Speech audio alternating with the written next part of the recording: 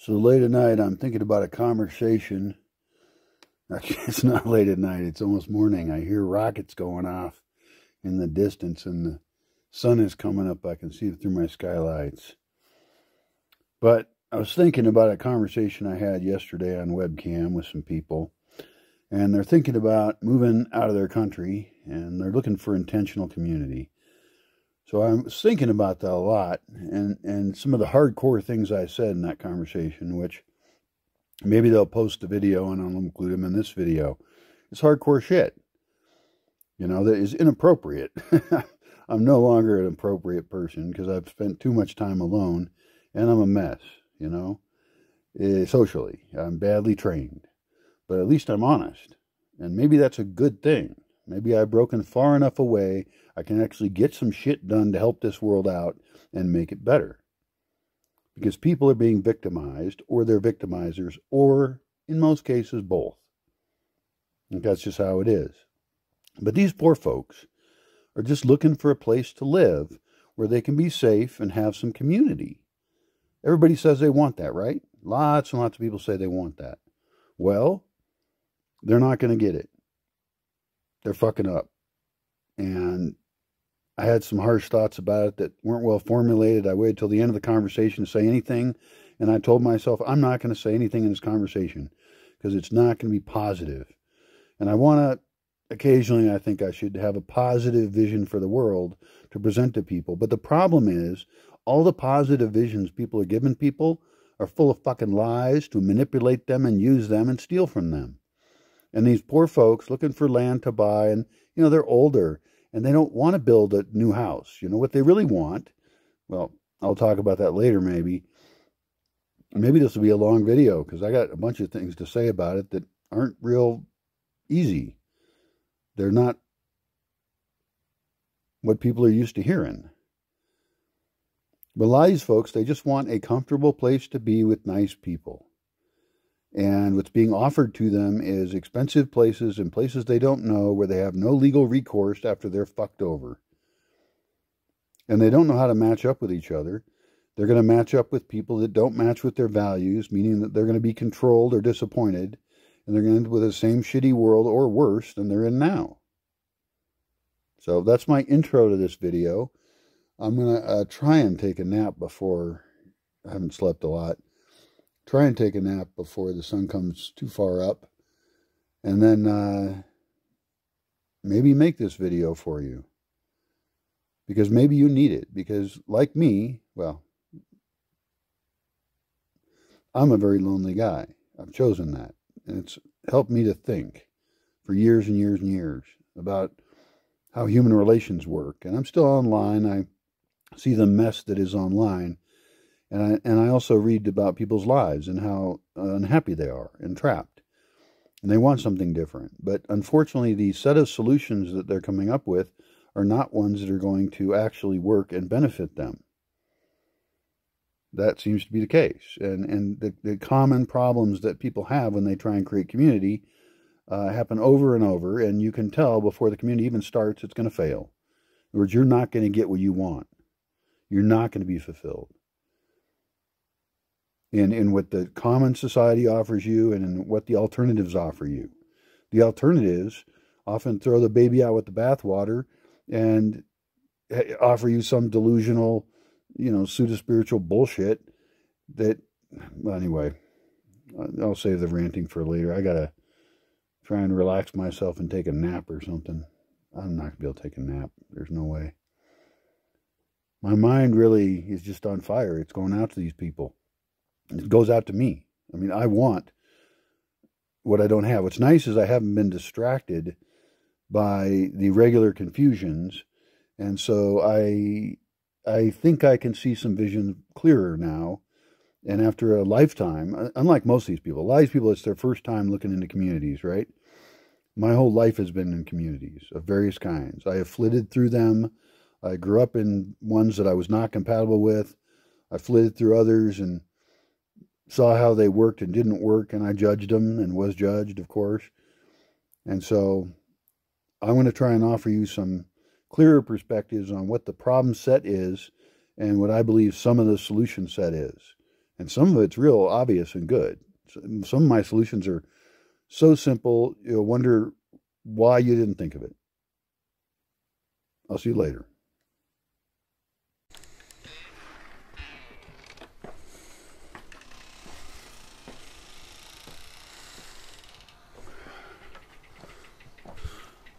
I took a sleeping pill as the sun was coming up and got some sleep I was missing. Had a very interesting dream. Let me tell you about it. In my dream, I was back in the city. I was re entering the workforce, as perhaps I should do, although I always imagined doing it online. Doing the kind of work I was doing before, and they were building a new building.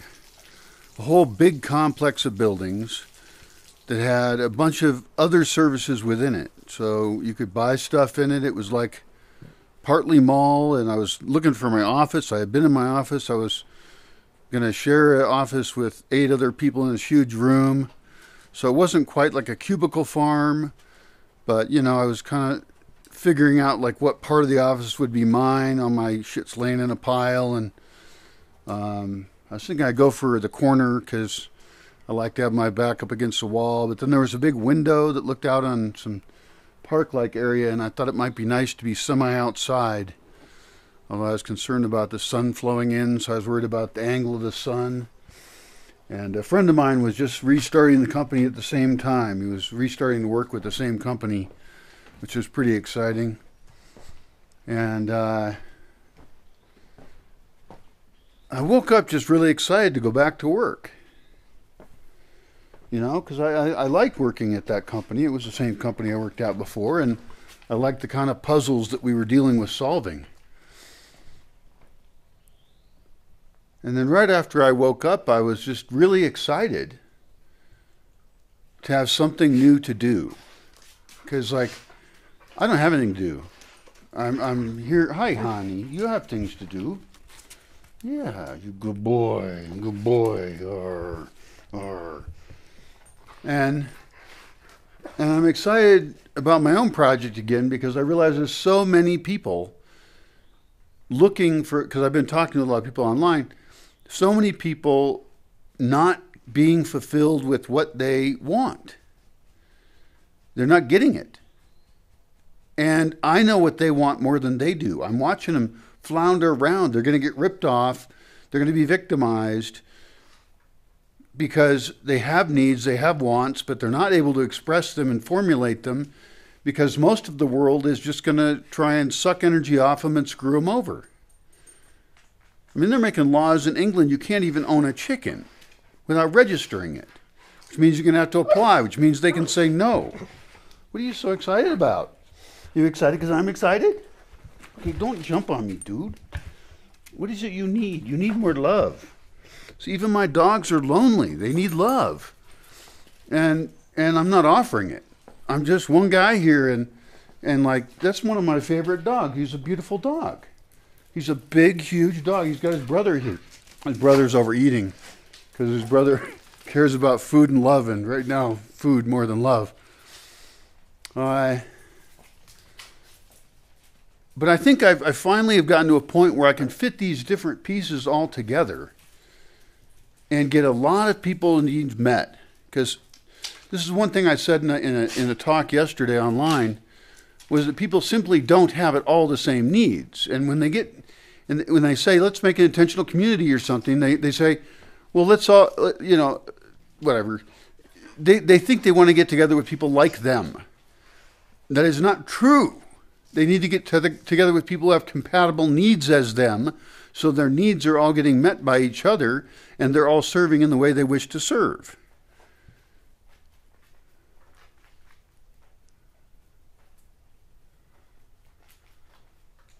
Wow.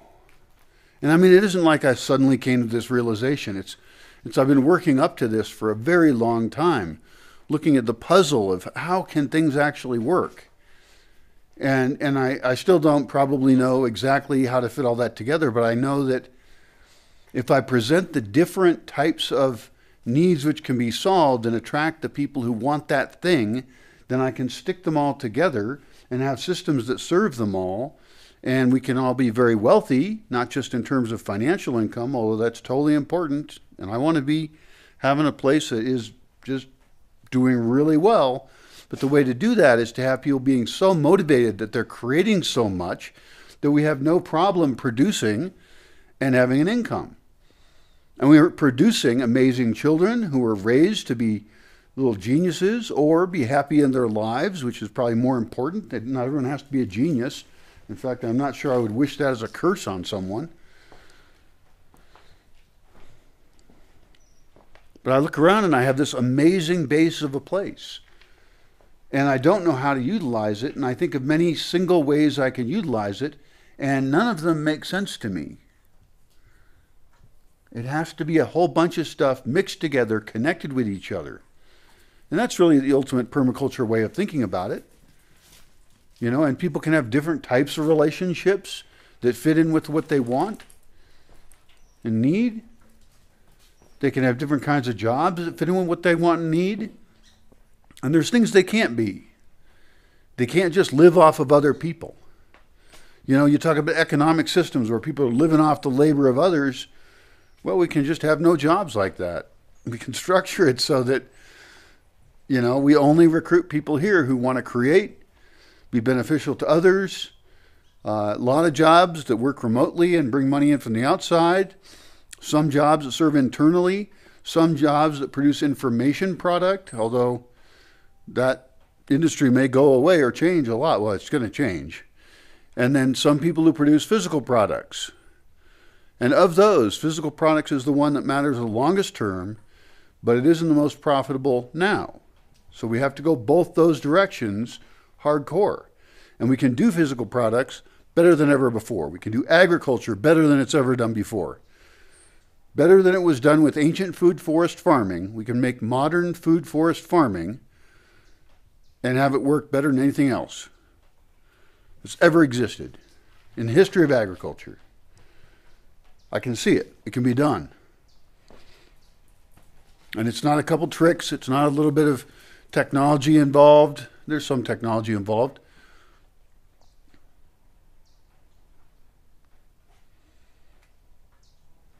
All right. I'm energetic because I just woke up, but thinking about the work involved is tough. The only way it's going to work is if I can involve a lot of other people who agree to very strict sets of social conventions of how we deal with each other. And that system has to be protected against those who will use it and destroy it. I have no illusions about that. I'm not a dumbass hippie. Hopefully, I'm a really smart hippie. And if I'm going to make anything that's amazing like I'm talking about, I'm going to have to work with a lot of other really smart people who understand that we're going to have to break away from what was and be careful as hell at creating what can be. We're going to have to question every bit of it. I have very clear visions on it because I've been working on it for 20 years here and all my life, actually.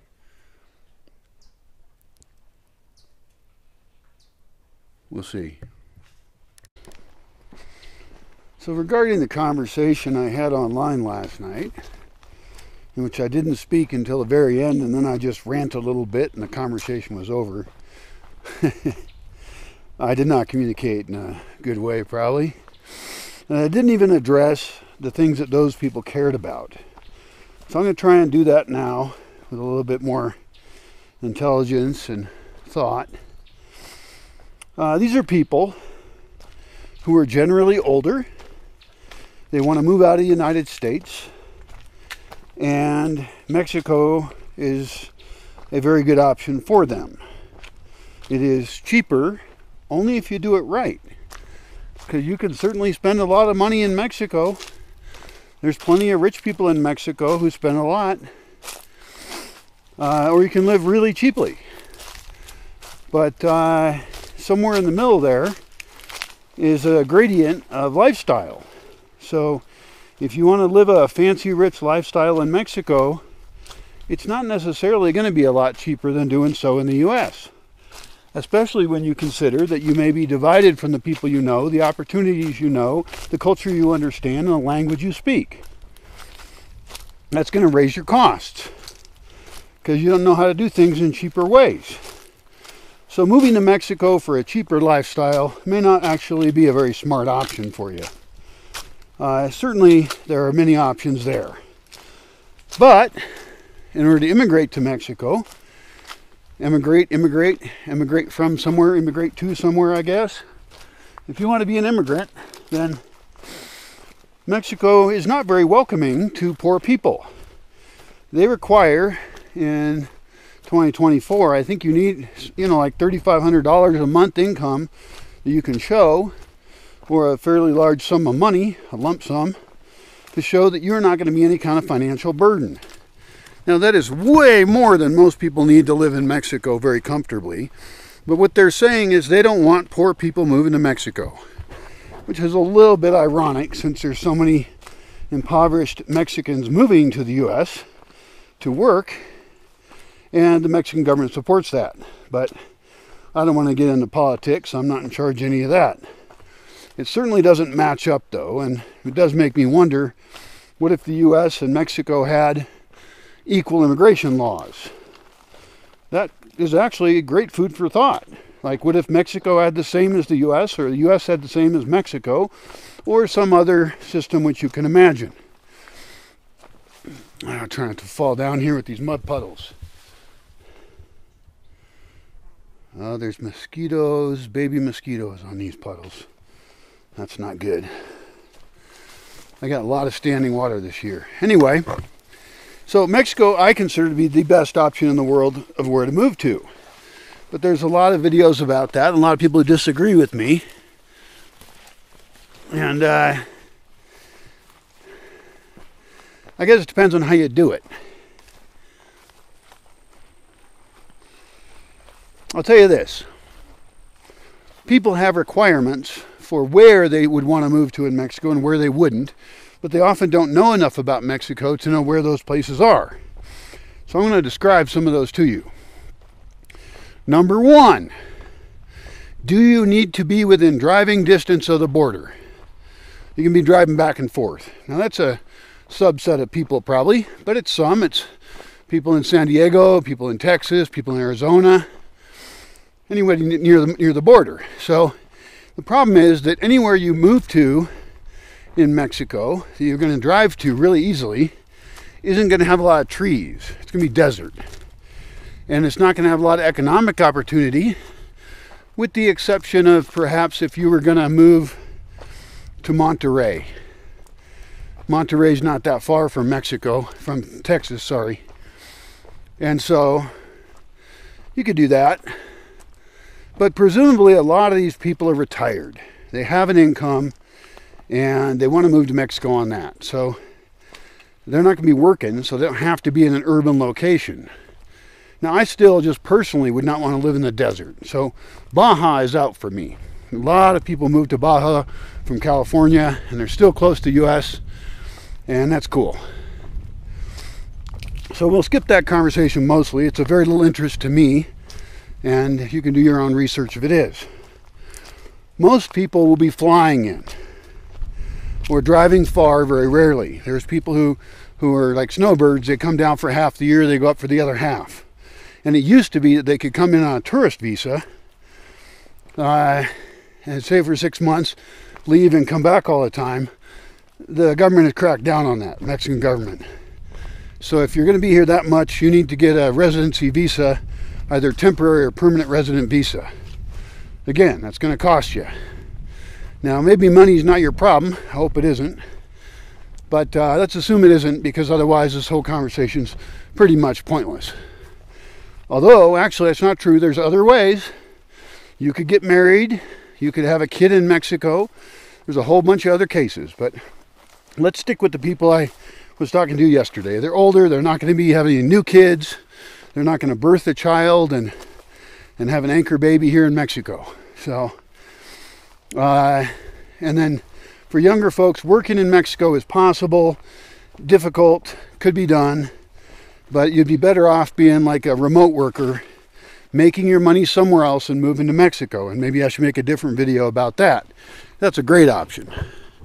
If you want to be a remote worker, digital nomad type, drop me a note. I might have a great place for you to be.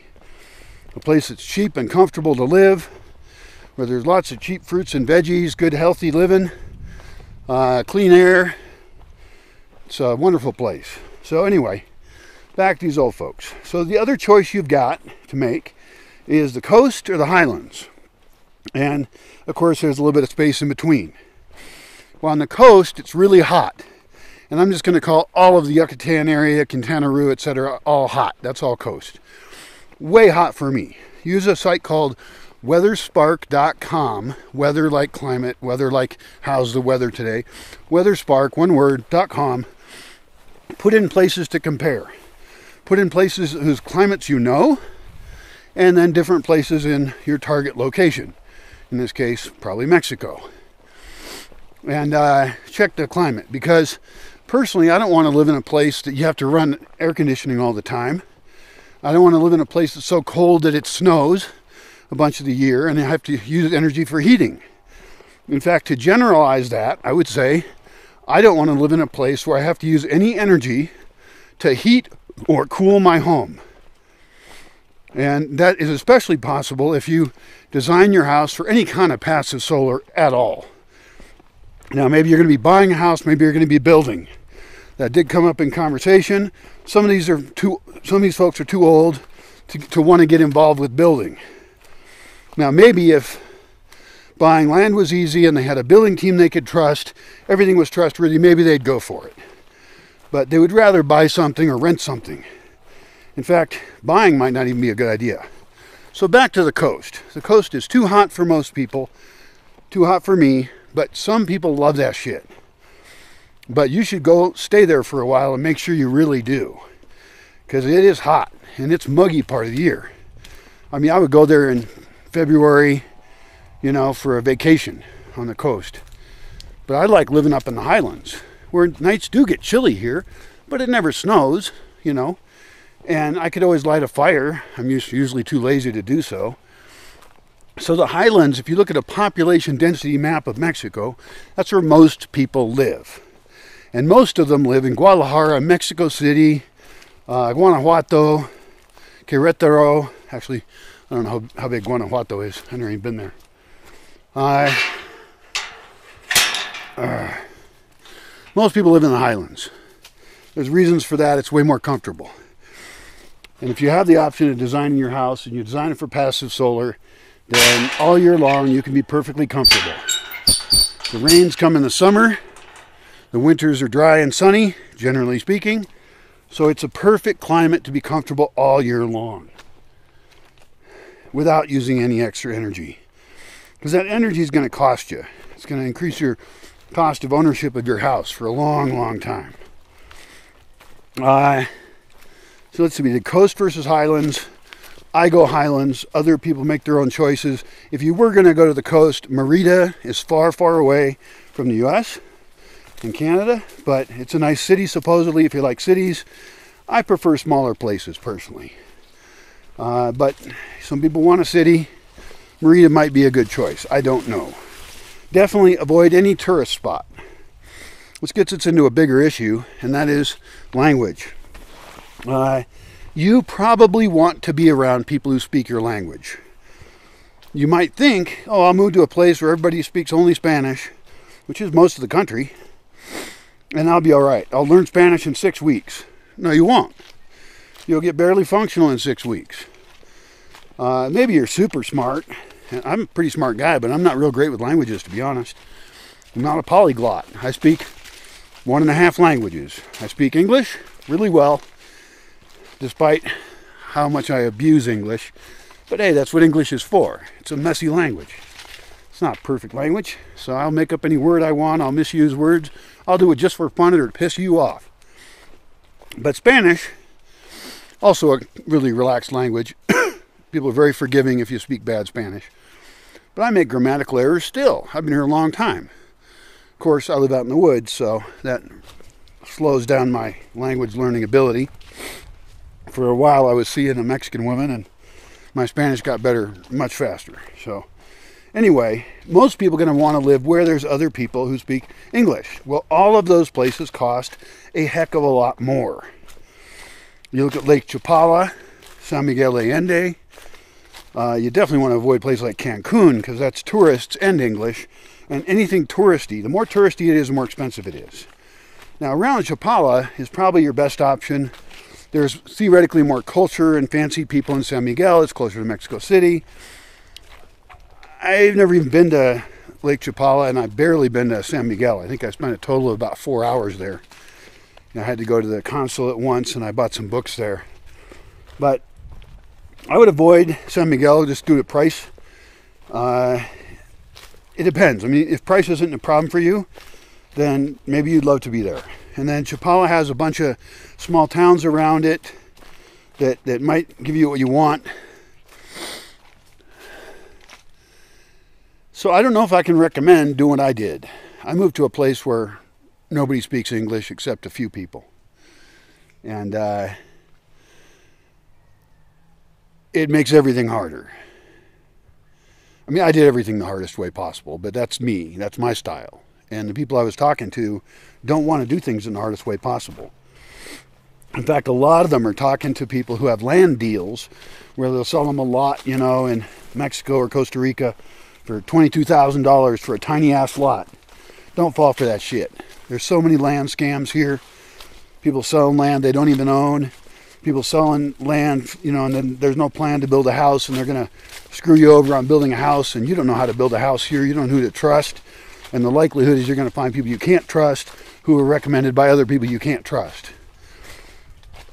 So for these older folks I'm thinking of, I don't even think they should buy land, to be honest. I think they should rent. Now that sounds scary because, I mean, I'm the kind of guy who wants to own land, right? Maybe they should buy a house. That would work. And a lot of these people talk about intentional community. That's what they're looking for because they don't want to be alone.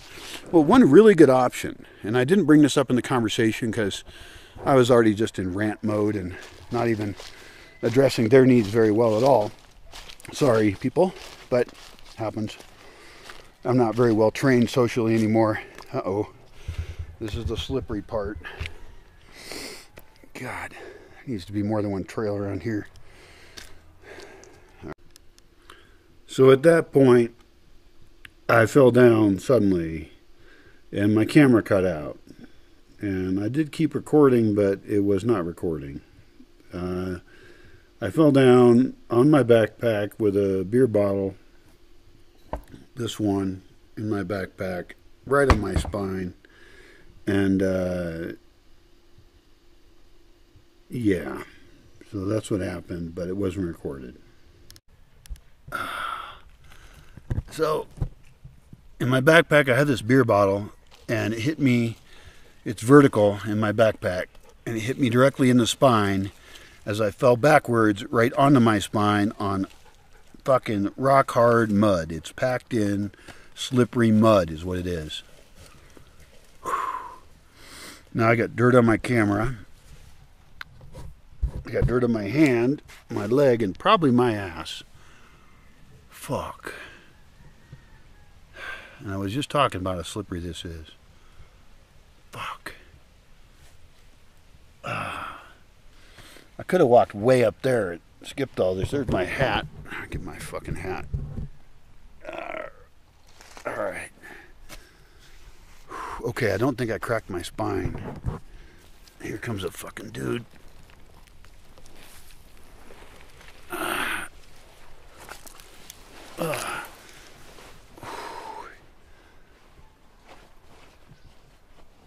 Fuck. Alright, my spine's killing me. It can't be broken though. Alright, I still can make it to town. I was gonna go to town and walk down to another place, but I think this time I'm just gonna go to town close by. Have a beer, get another one, walk home. Now the question is, can I get to town without slipping again? Because I think I'm alright, although my back really hurts. Oh, fuck. All right, I'm going to go off this trail avoid that trail, and I'm going to walk on leaves. So, one of the reasons people want to live with other people is because it's safer. Also, it's socially more fulfilling. And being socially fulfilled does involve living with people who speak your language. Now, some people will be critical of that, of course,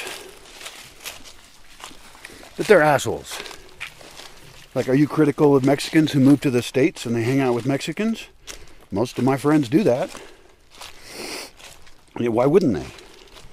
And you're going to be a critical asshole who's who's going to say, "Oh, these immigrants they don't speak English," because a bunch of them don't. No, it's America. It's fine. And yes, there's a difference between the country and the continents. We all know that. Don't be a dick. Uh, all right, this is slippery a little bit in here too. It almost slipped the other day in here. Fuck. See, if I had sand, I could pour it on this, and that would fix it. The other option would be to cut out stairway things in it.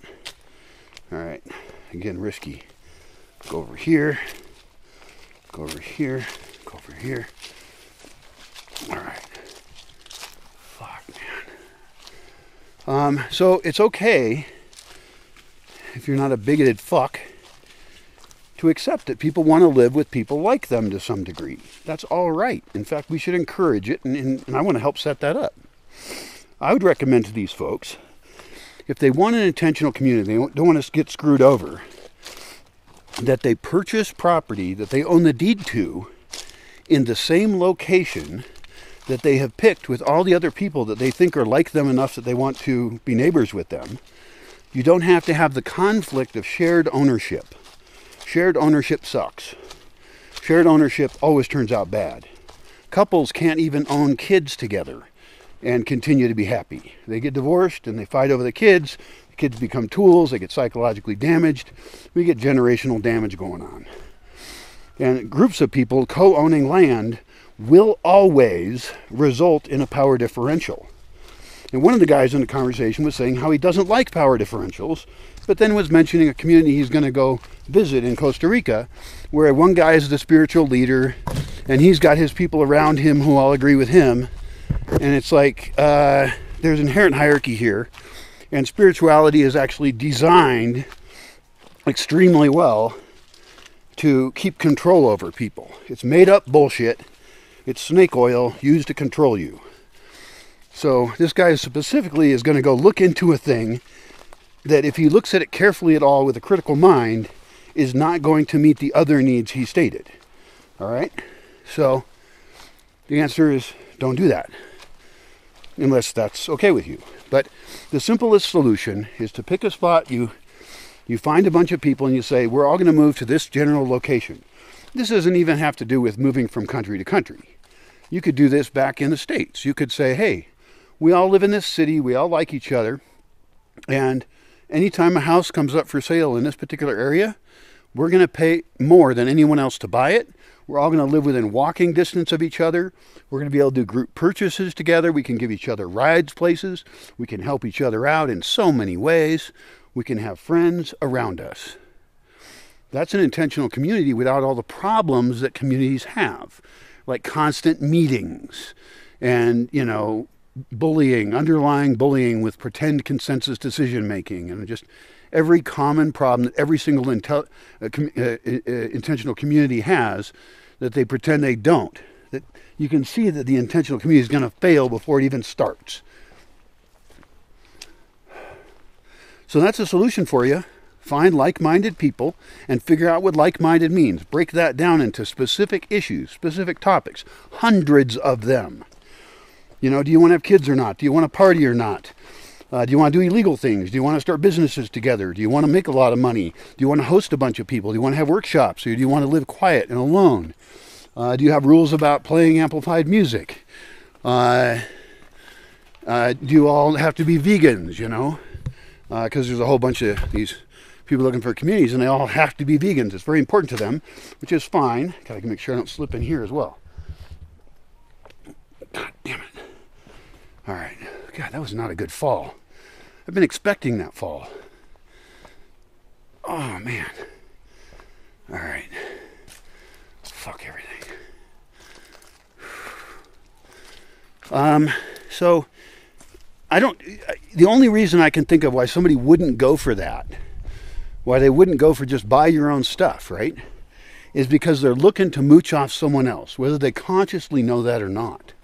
A lot of people don't consciously know that, but it makes sense, right? You can still voluntarily interact and lower your costs and have all the advantages of the community, but each individual in the community has their own space, they have their own security, and they're better off. Now, I can imagine things better than that too, but that should be the go to solution for most people. Uh, all right, that's it for me for now. All right, so to continue with the topic, uh, that's one option is buy places near each other and, and move there. Now, if you really do find people with similar enough values, you may want to do something else that could benefit you greatly. This is beyond what these other folks want. I mean, I hope I've addressed that, and I hope I've disillusioned them that they they're going to get ripped off by almost any community that they get involved with. Uh, owning land is a whole other thing. By the way, on the coast, you can't own land directly. You have to do it through a land trust. And so that's within 50 kilometers or 100 kilometers of the border. So that's something to consider. I wouldn't want to buy that kind of land. Uh, you have to make sure your deed is clear if you're buying land. Don't buy ejido land if you're a foreigner in any cases. Um, land is cooperatively owned land, communally owned land that you have no business buying. It's not even an idea for Mexicans to buy it, in my opinion. You can read about that online. Uh, another option for you, if you do have a bunch of people with resources who are like minded, is to buy a larger piece of property in a good area and divide it up so you all have a piece and then you have some that's communally owned as well. And in order to administer that, you're going to have to set up some kind of nonprofit, some kind of corporation or something. Uh, there's a whole bunch of legal structures for that in Mexico. Uh, and I have solutions I'm going to use for the property that I own so that I can have people there and it's going to only be open to people I really like and agree with. So I'm not even going to talk about that. Um, but that is another option. Uh, in the, in that case, you definitely would want to be careful. Also, in any no matter where you move in Mexico, make sure you move to a place where people want you there, where, where you're welcome. Uh, just like in the U.S., there's places that are not welcoming of outsiders. I would hope that all of them would be, but they're probably not. And in Mexico, there's places that are not welcome to outsiders. They're not welcoming. Uh, so don't move there. Why would you do that? You know, and definitely don't come in as a group of outsiders and then be a bunch of weirdos. That ends up being a recipe for trouble pretty much anywhere. And you can read about all these experiments in the 60s with communes and communities and shit. And they rarely went well.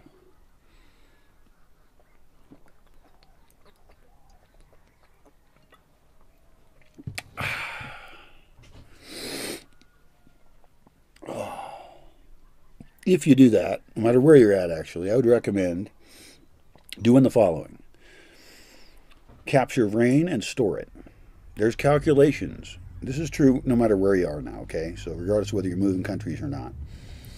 Uh, capture rain and store it. You can calculate, there's a formula for how much square R, feet or meters of vertical area there is, and then how much rain you can theoretically capture off of that. Ideally, you have a nice clean surface. Um, I drink unfiltered rainwater. I've been doing it for 20 years you would probably want to store it well, as I do, out of the light, and you'll probably want to filter it or process it, boil it, I don't know. But I don't, and I'm alive. But I also don't care. You do, and if you're going to give it to other people, you should care. Like, I don't give people my rainwater to drink. It's just, I don't know. My, maybe my immune system is really strong, and I'm set up for it. But that way you can have control over your own water system because all over the world, rivers are drying up, lakes are drying up, uh, people are running out of water. There was just a hurricane on the east coast of the United States, and that knocked out power and water for people, and they're in bad shape. And it's like this is all so predictable.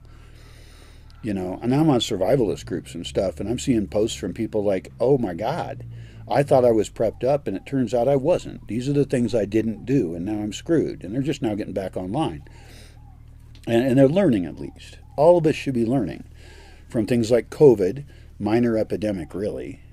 Well, it's ongoing and it's a serious problem. I have other solutions for that, how not to live your life full of disease, you know, how to live a healthy life. Um, like I'm a perfect poster boy of that. But uh, cheers. Um, but in some ways, I do real great. So uh, the point is then control your water. Second, store food. Have enough food stored up so that when, when there is, not if, but when there is a disruption in, in uh, societal functioning, that you have plenty to live for as long as you need to. The Mormons suggest three months. Uh, and that's really great. Even if 80% of Mormons stored three months of food, then that means their whole community is way stronger. And when there is a disaster, they can then focus on solving the problems and helping each other instead of fighting each other, which is what people will do if they don't have water or food. They'll fight each other. It's going to happen. So prepare for that too. But better than that, better than being a survivalist in your bunker with your guns, is promoting food forest farming all around you, promoting disaster preparedness, uh, make your community stronger so that you are not as weak. Because if you're the only strong person, you're actually extremely weak.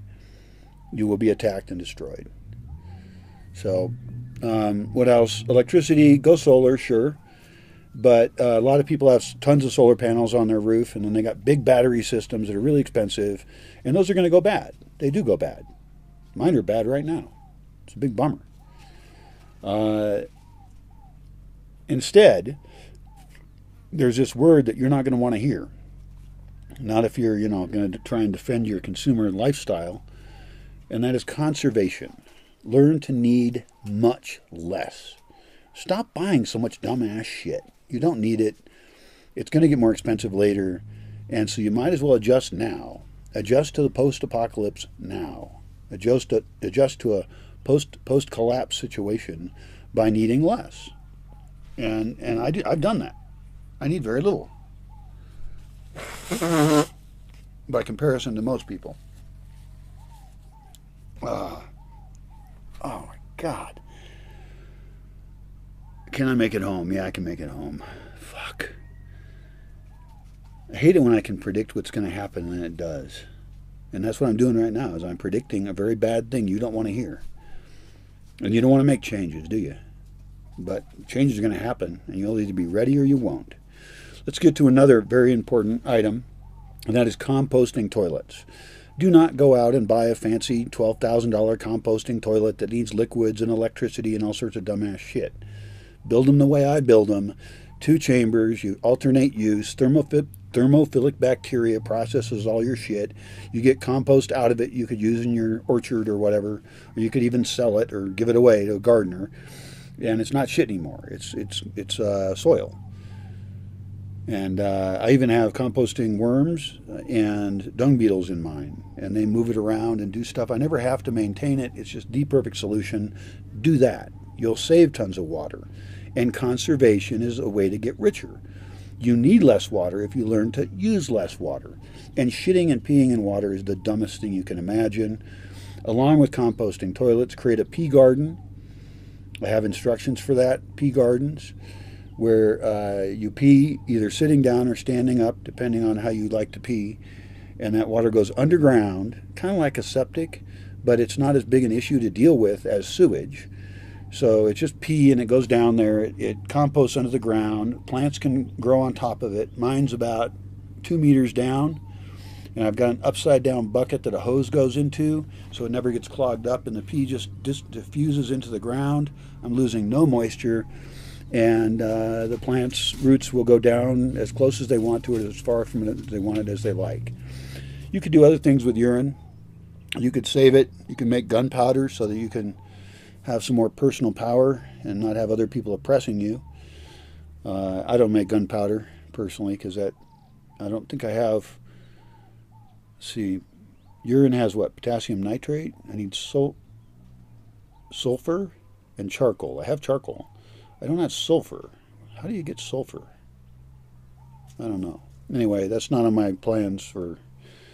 I mean, that's so low on my list, I forget about it. You know, I got so many other things I want to build. Another thing I want to build that I haven't done is a solar sauna. I have a wood fired sauna now that I could fire up and use to keep clean rather than a shower. Because showers and, and toilets use up all this water. And so if you have a composting toilet and then you have a sauna, you've gotten rid of 80% of your water use. That's pretty good, isn't it? 80%. I mean, you can measure it for yourself. I'm just making numbers up. And I have a very unusual lifestyle. So, but you can definitely save a lot of energy just with some minor lifestyle changes that won't even hurt you. In fact, with the composting toilet, you don't even need a plumber anymore. So you're actually making your life easier. No water bill, no sewer bill. Now, my, my, my sauna is wood fired. I don't like to load it with wood. It takes too long to heat up. And I don't do it because I'm lazy. So I'm just dirty. But if I build a solar powered sauna, not photovoltaic, but with evacuated tube solar hot water heaters, then I can have that sauna fired up all the time. And I can use it whenever I like. I'll just drink lots of water because I'm going to sweat, and skin will peel off of me, and I'll be the cleanest person around. Super clean.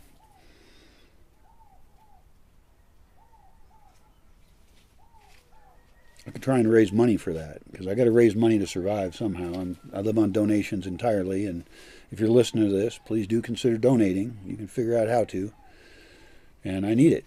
Uh, I, I have enjoyed living the way I live. I enjoy living like a homeless person with a lot of home in nature. It's great. But uh, that lifestyle almost killed me once, and it will eventually kill me. I have to have some support from somewhere. And if you're watching this, then theoretically I'm offering you something. Theoretically, you're getting something out of it, especially if you're considering crazy options of other lifestyles to, to lead or move into another country, maybe. So find a way to support me. Do it. I never ask individuals for uh, for donations directly. Not I haven't asked one single friend. I haven't asked my mother. Nobody to say. I've never said give me money, please. I need it. I say it generally. So if, if you don't have a lot of money, don't give it to me. Pay for yourself and fix your life. Start to prep up, you know, fix people around you, closer to you. I'll be fine. Whether I die or not, who cares? Doesn't matter. So I'm not asking you personally. I'm sending a general note out to the world that I'm going to die living the way I do. It's a sure thing. And fine, no big deal. But I'm trying to be as beneficial to the world as I can be. Uh, back to the topic at hand. Uh, you've got your, your solar sauna, which I will design and you'll build. I'll, I'll build some too. And you've got your composting toilets. You've got your house, which doesn't need any energy to run. Uh, your food is going to come from food forest farming. If you have a lawn, replace it with an edible landscape. There's great books on edible landscaping. Uh, you can consult with plant geeks to find out what to grow that needs no irrigation. Because what really uses the most water? It's growing our food. And there'll be some assholes out there who will tell you, see, I almost censored the word asshole there just to be nice to the sensitive people among you, but no. A bunch of people are assholes. I'm going to call them that. A bunch of assholes say, don't say we're like assholes. Um, a bunch of assholes out there will say, well, I don't have to save any energy because industry uses it all. All these other people use so much. And it's not my fault that things are so messed up. And it's like, no, it's your fault that you don't take control of the one person you have the most control over, and that's you. Take control of your life, take some personal goddamn responsibility. And then, of course, you're going to be buying food too. But you can also determine how much water you're using based on whether you shop locally, what kind of food you buy, you know, because not everybody owns a forest. I'm totally aware of that. People have said that to me. They're like, well, not everybody can live like you. That's how they talk. Uh, they're right. But you can do what you can do with what you got where you're at. I can state that better. You can do what you can where you're at with what you got. Uh, and you can be helping people around you. You can be inspiring them. You, you could team up with people who do have land and don't know what to do with it. And, and you could be helping them plant things that may take, you know, you might plant a walnut tree and it might take uh, longer to grow and produce fruit than, than you have life left. You know, that's a glorious person to be, to plant trees that you'll never see the fruit of. Be that kind of person. You know, plant for future generations if anyone survives at all. Because the way we're going, we're looking at total extinction or something close enough to it. We're looking at everybody you know suffering and dying horribly.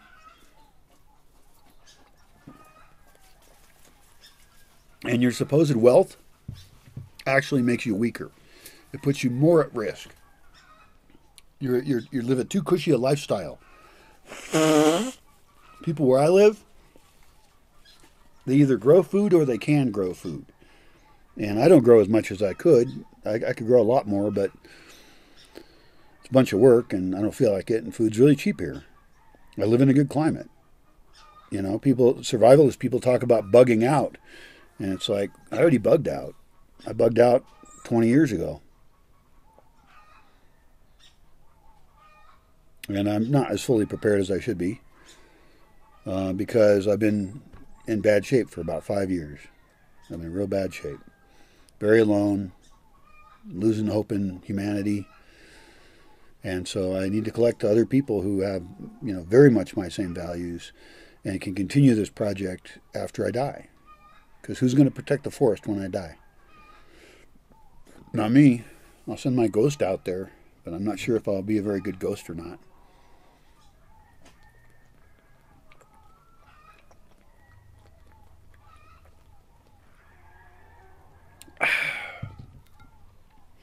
So, no excuses.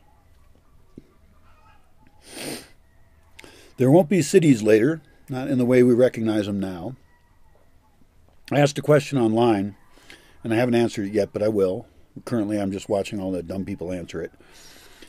And my question was what happens when there's a big solar storm and all the power goes out, the electrical grid goes out, and doesn't come back on? What will you do? And a bunch of people are responding, "Well, I've got some propane and gasoline and generator, and I'll, you know, I'll be fine until they get the power back on." No, I specified in the question the power is not going to come back on. And people have a whole bunch of other dumb answers. I don't remember them all, but um, none of them answer the question of it doesn't come back on. What's going to happen in Chicago, New York, even Seattle? What's going to happen in Bangladesh, India, it's going to happen in places where it's too hot or too cold to survive. Because even now, a heat wave will result in deaths because it gets too hot and, and AC is too expensive. It's there, it's just too expensive. And everything will get more expensive. The, the, the golden age of cheap energy is going to go away. And don't mention nuclear power. If we get nuclear power, fusion power, any kind of cheap power, we're going to keep building and just make the situation worse. We're going to put ourselves in a more fragile position not a safer one. All the rest of the resources we have should be invested into making ourselves more secure. People in Chicago, what happens? I mean, what you know, New York. What happens when the power goes out? What happens in in uh, Munich and in uh, Berlin, in Oslo? Some of those people are more used to cold than we are. But I mean, billions of people are going to die oh, somebody responded, well, yeah, there was a solar storm in 1980 something, and and you know we got it fixed within this short amount of time. And it's like, no, I'm talking about shit like the Carrington event, which was in 1880 something, and that caused a bunch of the minimal electrical systems at that time that existed to go haywire. And geologists find that before that, there was something called the Miyake event, I think, and it made the Carrington event look small. So what's very likely to happen is a solar storm will hit, blow out all the systems, and we will not have the ability to, to, to repair it. We'll run out of the ability to repair it. And that will cause other systems to fail, agricultural systems to fail, disease will skyrocket, water will be harder to get to any, anybody anywhere. Uh, pumps won't be working. Your cars will all stop because all your cars are way too complicated. They're like computers in there now. You, know, you used to be able to fix your car. And maybe in the past, in like the 70s or something, maybe cars would have survived a Carrington type event, a solar flare. Or maybe they wouldn't have. But now, pff, All your electronics can be fried. You could build something called a Farrington cage. No, is it called a Farrington cage? Is that right? Doesn't sound right to me. Farrington? Faraday. Faraday cage, which is like a wire mesh around something. You could have one for your wallet so no one can use RFID and scan your cards easily. You could build bigger ones. You could have server farms and computers. You could put your electronics equipment in it, and then maybe it wouldn't get knocked out by an EMP or a solar flare, because also an EMP or, or this kind of damaging thing could happen due to a nuclear bomb. We could have a nuclear war. That would potentially knock out tons of electronics as well. What happens when all the satellites go down? What happens when you don't have any internet? What happens when your ham radio's fried? You don't even have a ham radio, do you? You probably don't even know someone with a ham radio. I should have a ham radio. We should have a network of ham radios all across the world in Faraday cages so we can reestablish communication. Right now, we think of ham radio people as, you know, weirdo hobbyists, and it's like, no, that's our emergency communication system. And this town right here that I'm sitting in should have one. I should have one. And, and I don't need a license once once civilization falls. I can just listen for a while and learn about how to do it and not broadcast anything because I don't have anything to broadcast anyway, and I don't want anyone to know where I am. So if I broadcast, people can triangulate my signal and find me. I could wait until shit hits the fan, and then wait till the secondary shit hits the fan, and the and the, and the tertiary shit hits the fan, and things calm down. Then I could say, okay, who's out there? won't be hardly anybody.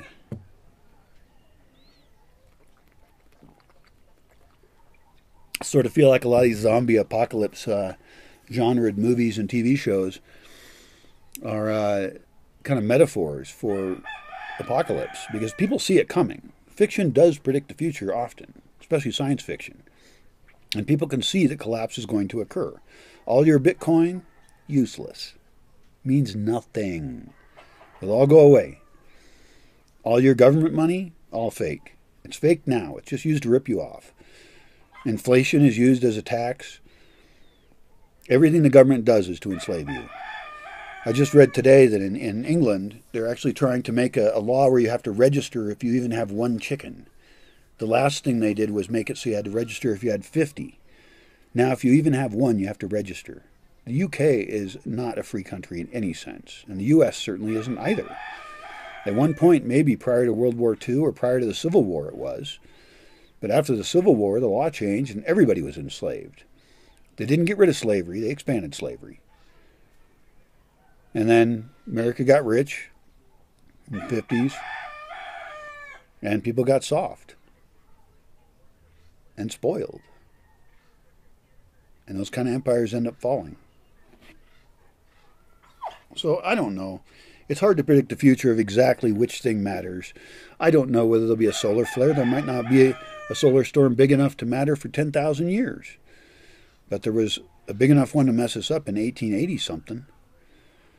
So in the next couple hundred years there'll be one, but I suspect civilization will fall long before that. One big epidemic and we're toast. We're so connected now. Something more viral than COVID.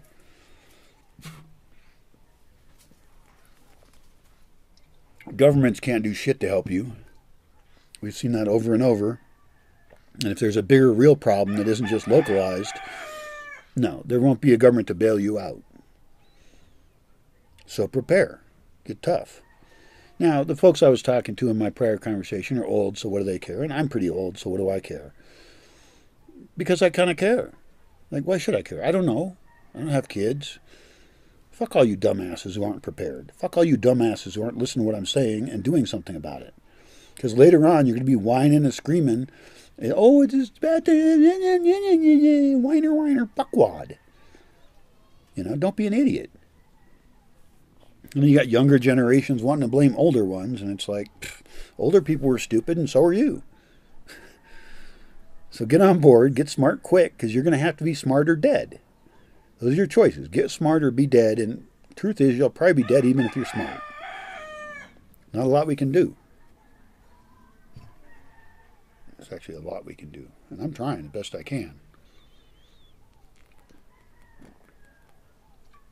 It's very difficult with no support. And of course, the average person has no imagination or forethought anyway. They're just good slaves, and so they're not going to do anything. So it's up to you. It's up to you and me. If you're still listening to this, then either you're just pissed and think I'm a dumbass, fine, go for it, have fun. Or if you agree, then we should get in contact. You should at least follow the other things I say, because some of them are going to get more specific than this. This is just whining and predicting about the future. But there's a lot of specific things we can do to build cultural and technological lifeboats for any survivors that don't die. And we don't lose by preparing for some future that may or may not happen. We, we gain right away by creating a lifestyle where instead of being wealthy in fake money, we're wealthy in community, in people, in trust, in creativity, in living the way we're supposed to be living, the way that's fulfilling.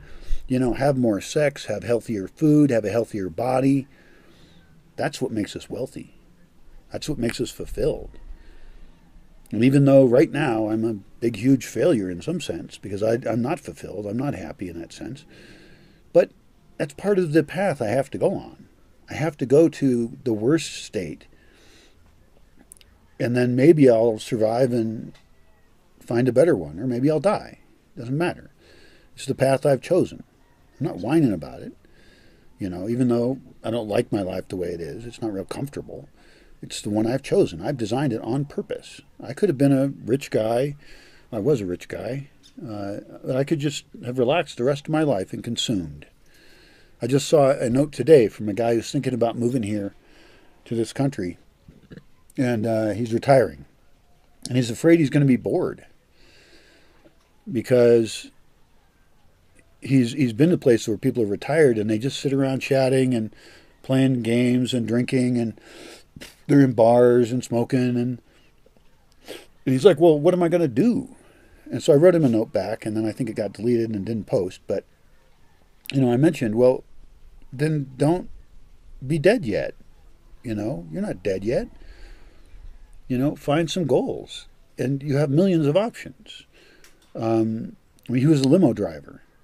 He's retiring from being a limo driver, and I said, well, you know, you could have a limo still, and you could give rides for free, or you could have a tricked out limo and just do rides when you feel like it. You know, with people you like. You know, you could drive from the airport to their place, and so you still get that social outlet, which was his social connection before or he could get involved with any cause of any kind that he likes, or he could learn a new art. He could do so many things that would matter. He could have a big, hairy, audacious goal, like I have, of saving the whole fucking world, which is impossible. It's unsavable. But you can save pieces of it. You can even build better a better world around you. That benefits us now, right now. And I need to do that for myself. Because if I'm going to end up happy at all, not that it matters, but, you know, I wouldn't mind a little more happiness before I die. And I, I talk to people online all the time who are desperate to get out of the country they're in, out of the social setting they're in. Some of them want to get away from their family. They're lonely and they're unfulfilled. And I have solutions for that. So now I have to do the immense work of implementing those but I can't really do that alone. In fact, doing it alone is exactly what would be failure. I've tried it alone. I can make really fun parties. I can make little festivals. People have really good time. Yay. So the fuck what? It's boring. I'm looking for people who are like me, who want to put everything they got into building a better world and living in a better world. And that benefits us all right away. And I'm going to be really careful about who I do that with. Absolutely careful. I'm going to reject 99.9% of people. Not because they're bad, because there's a higher percentage of good people than 0.01%. But they're not all compatible with my particular visions. Even if you don't like my visions of how to do things, you can still find your 0.01% of people and you can create your own thing. So do that. I'm not important, okay? So don't write me a note and say, well, I don't like what you say, this thing and that. I don't give a fuck what you think, okay? If you don't like what I think, then go do your own thing. I encourage you. Please do it. Please. For the love of humanity. Go do your own thing and make a better world, however you think you should do it. And we probably won't be in conflict. Now, if your vision of the world is to continue oppressing more people, then yeah, we're in conflict, and I'll kill you. Somebody's going to kill somebody. Because I want to destroy the oppressive world as it exists. And there's a lot of people who say they're against oppression as it exists now, but they just want to become the new oppressors. They, they're not changing shit at all. They just want to change the staffing. And that's not what I want. I want freedom for everybody and crush the oppressors to hell. So, yeah, do your own thing. I wish you luck. I'm running out of steam here on this. Uh, still checking out my spine to see how much I injured it. I think I'll be all right. I think I just bruised some bones or something. And if I can partner up with people, my risk will go down and my stress level will go down and my fulfillment will go up. Because finding the right people is what matters. And that's the thing I'm actually working the most on is how to find the right people to partner with. That's probably your biggest challenge too. And I want thousands of them. So good luck to you.